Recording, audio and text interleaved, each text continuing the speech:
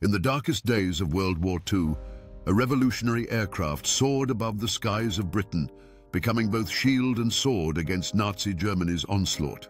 The Supermarine Spitfire, with its distinctive elliptical wings, wasn't just a machine, it was the culmination of one man's engineering brilliance. Reginald Mitchell, a locomotive engineer's apprentice from Staffordshire, designed this masterpiece despite knowing he wouldn't live to see its finest hour. Diagnosed with cancer in 1933, Mitchell worked feverishly until his death in 1937, driven by reports from Germany that war was inevitable. His genius lay in the Spitfire's perfect balance, a thin elliptical wing providing both agility and space for eight machine guns. When Luftwaffe bombers darkened British skies in 1940, Mitchell's creation proved its worth, becoming the only Allied fighter in continuous development throughout the entire war.